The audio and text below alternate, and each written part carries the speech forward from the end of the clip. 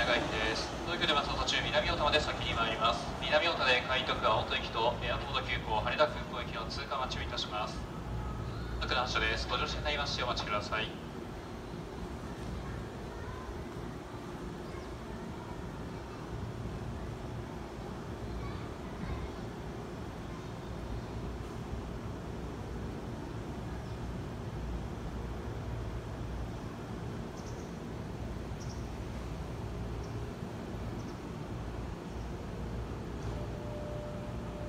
4番線普通品川行き発車いたします。ドアを閉めます。